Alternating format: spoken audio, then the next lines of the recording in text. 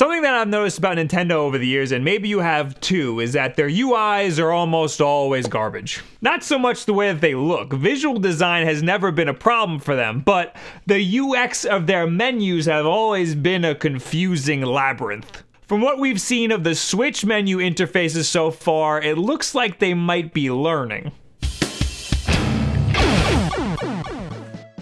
So recently there was a major leak of Switch specs and development stills. I don't really care about the Switch specs, but I know a lot of you people out there do, so bam! Here's the specs. Pause the screen if you're that curious. But we already know that this isn't going to be a powerhouse, so this isn't really that important. What I am interested in is the home screen. Boy, how exciting. No, I haven't run out of video ideas. God damn it. I'm a designer by trade, so UI and UX design interests me. And I know that Nintendo's has always been terrible.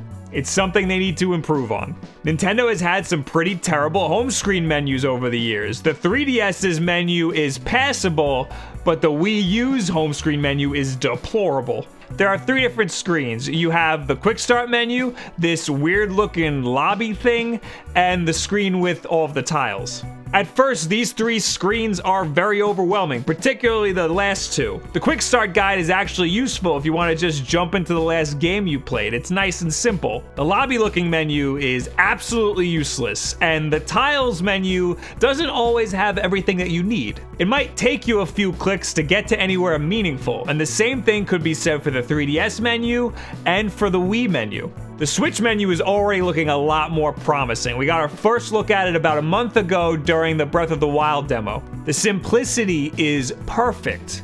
You have only what you need right here. It's also good to note that most of the buttons are large enough for finger presses in case you're in portable mode. The flat design is also a really nice modern touch. Shortly after this was shown, developer Nicalis Inc. tweeted an image of the same looking screen but in black. This implies that there might be a night mode which would be awesome for our sore eyeballs. They're most likely using a dev kit though, so this could change. The leaked documentation that hit the internet yesterday looks like preliminary mock-ups of the menu system. If we compare the two, we have pretty much the same info, it just might be in different spots. That looks like a heart, but it must be a mountain, meaning this will bring up the photo album. That's like the generic picture icon. I guess it kind of looks like a Mario mountain because it's curved at the top. The user's avatar is shown in both, just in different positions. On the mock-up, you have multiple users available right in front of you but the final just has one.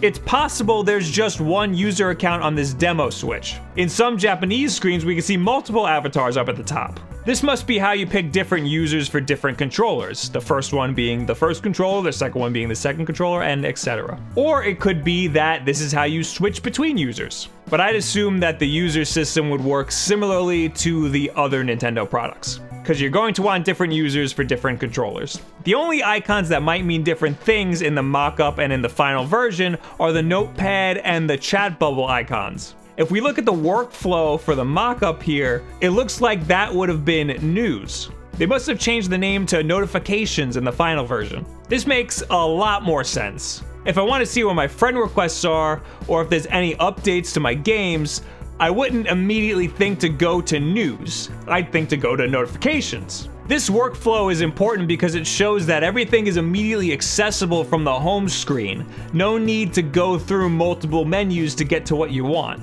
It looks like you can select the game you want and load right into it, or there will be a select or right click function that will load more info who's playing it, news and updates on the game, etc. It also looks like Mii's will still be used as player avatars. Your friends list will be accessed by clicking your avatar as well as your profile and presumably account settings. We also get an idea of what the share button menu might look like, and what the eShop game pages would look like too.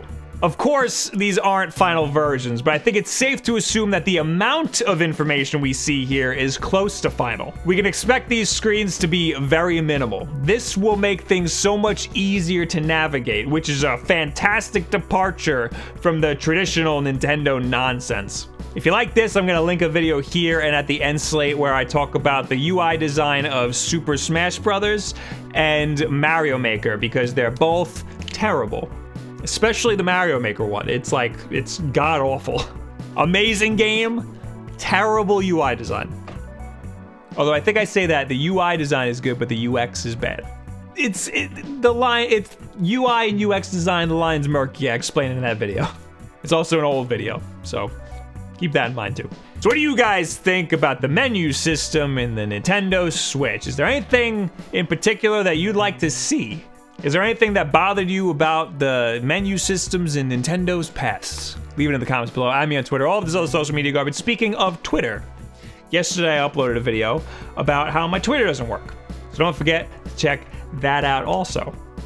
And maybe help me out a little bit because I, I need all the help I can get to get that fixed so I can talk to all of my friends here in real time. I almost said real life. It's not quite the same. Don't forget there's new videos every single Tuesday, Wednesday, and Thursday, and now Saturday because of the backlog. And Wednesday nights, Wulff Den Live, 9 o'clock p.m. Eastern Time. Don't you ever forget about that. We can have our little exclusive chats together. And of course, most important things you could do is subscribe and share this video with a friend, a friend who is hyped on the Nintendo Switch, as hyped as I am. Thank you guys very much, and have a good week.